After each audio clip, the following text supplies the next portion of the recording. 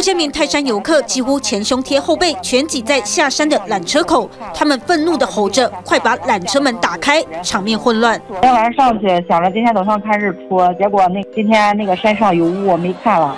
然后我们就往下下，然后下的时候就人很多，好像有一个索道关闭了。端午假期，大批游客花了八小时爬到泰山山顶，想欣赏日出，但因为浓雾，什么都没看到。失望的回头想搭缆车下山，却发现三条缆车因为施工关了两条。上去都很累啊，都是都想坐索道下来，但是得等好几个小时。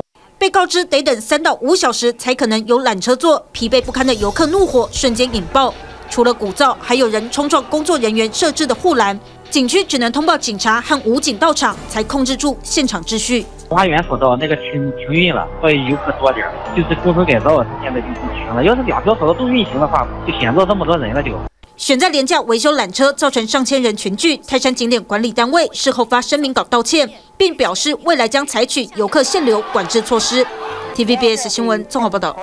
请订阅、按赞、分享 TVBS News 频道，要开启小铃铛哦。还有还有，下载 TVBS 新闻手机 App，随时掌握国内外大事。